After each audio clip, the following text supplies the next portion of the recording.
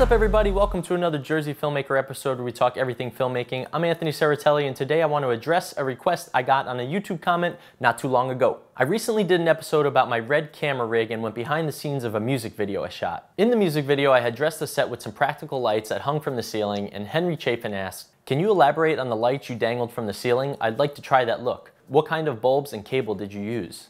So as I mentioned in that episode, I bought all of my practical lighting supplies at Home Depot. I overbought so we had all kinds of options on shoot day and returned the rest afterwards. I knew what the studio location we were going to shoot at looked like, so I had a vision of the style I wanted and the dangling practicals was at the top of my list. So when I walked in the store, I went straight to the lighting section and went looking for Edison style bulbs, not even knowing if they sold anything like that. There were a few options, but thankfully there was a display with this bulb so I could see what it looked like. I went with these Philips vintage bulbs because I was happy with the look and they were only $10 each, which I knew my client could fit into their budget. I bought six, but we only ended up going with four because we thought it suited the space better. But now that I have the lights, how do I hang them and light them up? I wanted to make sure they hung straight down. I didn't want any elbow or L shapes involved. So I started by searching for some sort of socket that I could hopefully plug into an extension cord and Home Depot came through. I found these nifty little sockets that were exactly what I was looking for. The bulb screws right in and you can use an extension cord to plug into this side and suspend from the ceiling. I grabbed both black and white extension cords not knowing which color would be best on set, but we ended up going with the black so it wouldn't stand out as much. And that's all there is to it. An Edison style bulb, a light socket to outlet adapter,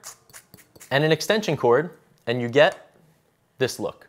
It's a really cool look and take my experience as a lesson. I did have a general idea of what I wanted my lighting to look like, but I didn't know exactly how I was gonna accomplish it. So I just walked into Home Depot, wandered around, and figured something out. And by the way, this is definitely not the only way to accomplish this, so don't be afraid to go DIY shopping and experiment to achieve different looks you envision in your head and unleash your creativity. And that's all I got for today. If you like this video, please help me out and click the like button, subscribe and click that little bell so you can get alerts whenever a new episode is posted. If you have any comments or questions like Henry did, as you can see, I will respond to them directly or bring your ideas onto the show.